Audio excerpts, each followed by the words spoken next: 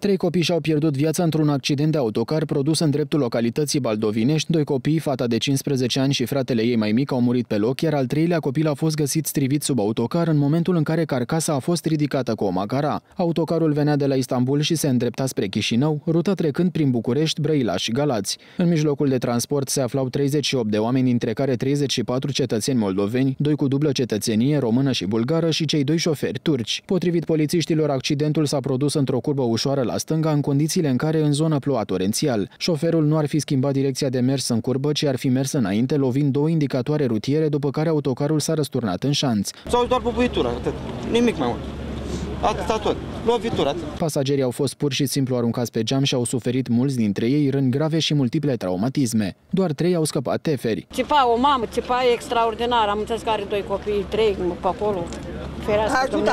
Autoritățile au activat planul roșu de intervenție, care presupune implicarea forțelor din județele limitrofe, astfel că au fost mobilizate echipe ale Inspectoratului pentru Situații de Urgență, echipaje smurt și ambulanțe din județele Brăila și Galați. Cinci copii cu vârste cuprinse între 4 și 15 ani, precum și alți 22 de adulți, au fost transportați la Spitalul Județean Brăila. Alți trei răniți au ajuns la Spitalul Județean Galați. Nu pot să vă precizez prea mult despre starea lor, presupun că cele luate de medici sunt în stare traumatisme mai grave, ce foarte mulți sunt cu traumatisme mai mici. Accidentul de la Baldovinești seamănă cu cel produs în urmă cu 10 zile pe autostrada Soarelui, în care a fost implicat un autocar plin cu ucrainieni.